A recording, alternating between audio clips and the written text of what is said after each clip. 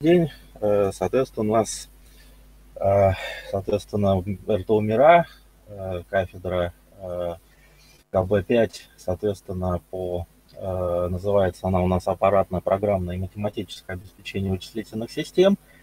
И, соответственно, у нас, как бы мы разработали, соответственно, образовательные программы – как, как раз касаемо подготовки, а, наверное, самой э, проблемной, наверное, области, собственно говоря, в Российской Федерации сейчас, да, связано с тем, что сейчас мы должны переходить на свое отечественное ПО, и, ну, естественно, как раз проблема связана со всеми системными делами, да, и, соответственно, IT-технологиях и так далее.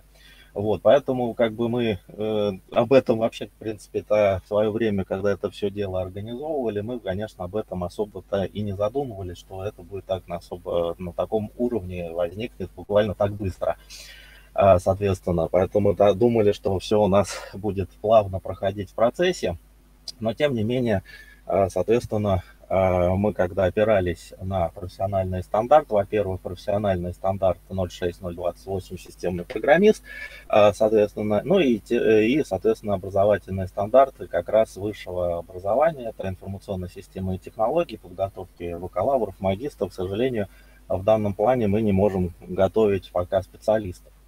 А, но, тем не менее, когда мы а, просмотрели это все дело, оказалось, э, что мы должны э, э, подготавливать такие профессиональные знания, такие как, собственно говоря, принципы организации, значит, да, организации, во-первых, IT, значит, аппаратных вещей и так далее, архитектуры различных платформ, для которых приходится разрабатывать такие моменты, как системные утилиты, драйвера и тому прочие вещи. Вот. А до этого, естественно, а, как бы у нас таких особых проблем, может быть, не возникало. У нас были а, определенные а, сложности, да, там в связи с тем, что специфика, она, конечно, предполагает изучение да, системных подходов, изучение внутренностей их операционных систем и так далее. Вот, но, тем не менее, сейчас возникла как раз а, необходимость ускоренного перехода на отечественное ПО и как раз, а, собственно говоря, изучение и отечественных, скажем так, операционных систем и так далее. Мы использовали до этого проприетарное программное обеспечение, да, собственно говоря, оно было нам навязано, понятно, со стороны поставщиков оборудования и так далее, и мы, собственно говоря, э, ну, по ряду причин организации там, в общем-то, инвентаризации и так далее, мы не могли, в общем-то, от этого от этой операционки избавиться, потому что, ну, нельзя там, поставка инвентаризация, она должна быть. Мало того, оборудование было такое, что ее просто вот э, поставить вторую операционку, э, и, э, и моменты все этим возникали, мы тоже, собственно говоря, там это все криво обслуживалось, ну и понимая специфику преподаваемых дисциплин, не всегда можно было а, скажем, дать возможность, ну, очень серьезно просто ребятам, да, проявлять, э, ну, скажем так, э, самостоятельность, может быть, где-то инициативу, чтобы что-то где-то поломать. Ну, ну действительно, эта специфика такая, э, этих дисциплин такая, что, в принципе, часто все ломается, да, то есть это и драйвера, это подвисается, это порча, скажем так, и различных библиотек и все остальное, и процессы могут быть, и, соответственно, порчены. Вот. А, вот мы как раз, а, нам хорошо посчастливилось как раз а, встретиться с, как раз с нашей, мы теперь партнером, я бы сказал, да, соответственно, Базальтом, да, с представителями, мы, скажем, начали очень серьезно с ними взаимодействовать, и вот, в общем-то, они нам подали хорошую идею, и, соответственно, благодарим им за это, и, в общем-то, мы дальше с ними будем продолжать дальше сотрудничество как раз. И вот мы как раз скажем, общаясь э, с э, базальтом, мы как раз в качестве отечественного ПО уже взяли, э, соответственно, а, в качестве значит, рабочих станциях стали использовать альт рабочую станцию операционная с установленным как раз пакетом альт образования.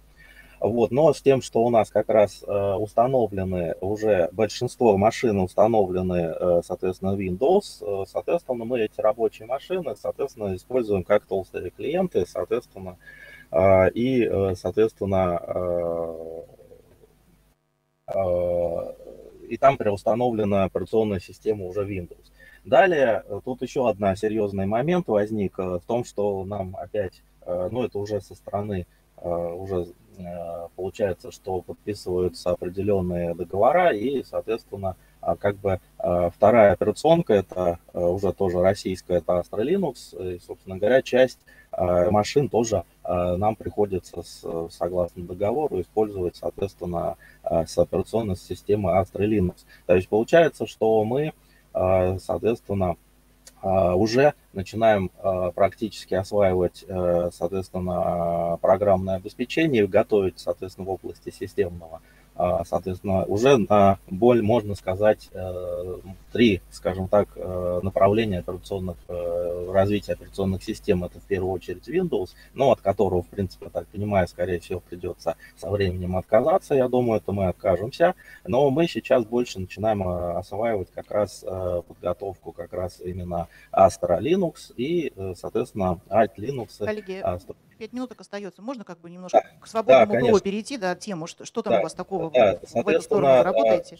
Вот, да, вот, собственно говоря, мы, собственно говоря, э, в плане а, подготовили, готовим такую вот, э, подготовили такую вот э, виртуальную среду, соответственно, у нас, соответственно, два сервера, один сервер виртуализации, второй просто сервер, а, соответственно, а, с помощью которых мы будем развертывать на толстых клиентах различных операционных системах, то есть толстые клиенты Astra Linux, Alt, и, соответственно, для уже работе для в аудиториях различные виртуальные среды, а, да, которые тоже готовятся база дистрибутивов для развертывания вальт э, виртуализации, соответственно, и ребята, соответственно, могут что угодно там ломать, писать различные вещи и так далее.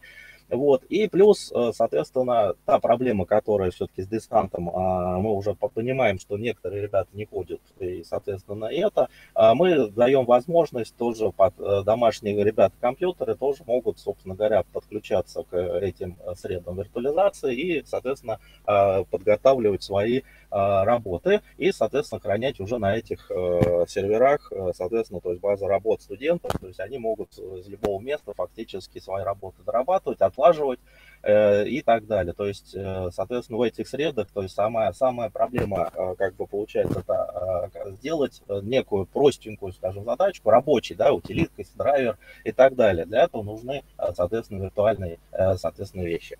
Вот, так что, собственно говоря, а, мы уже, а, соответственно, а, в заключении, что можно сказать, э, полученное аппаратное обеспечение мы используем в рамках на сегодня вот пока таких дисциплин, как системное ПО.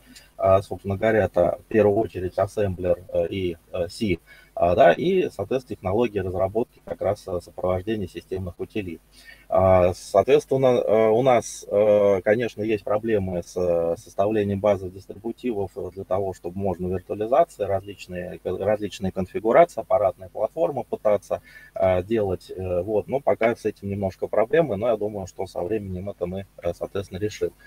А, вот. Ну и в дальнейшем мы планируем реализовать сетевые Э, изучение виртуализации сетевого окружения распределенных систем, да, то есть, собственно говоря, то, что вот, в общем-то, сейчас очень важно, э, распределенные вычисления и, э, да, вот, и в дальнейшем, соответственно, развить это использование и разработки а, соответственно, э, программного обеспечения, да, соответственно, для искусственного интеллекта, параллельных вычислений. А, собственно говоря, у нас тоже есть, соответственно, кластер, а, да, для параллельного, соответственно, программирования, да, соответственно, вот, но у нас там доклад завтра будет нашего представителя, да, там, соответственно, про параллельное программирование, какие там успехи. Вот, но тем не менее, соответственно, вот здесь у нас э, так э, пока вот реализовано. Э, собственно говоря, все. Спасибо. Да, спасибо за доклад. Коллеги, вопросы?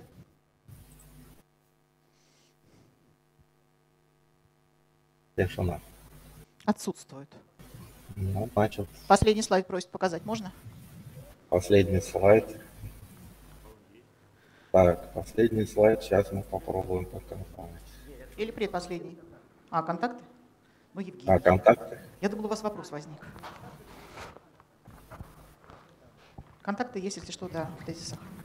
Так, еще вопросы есть какие-то, кроме контактов? Нет. Ну, тогда переходим.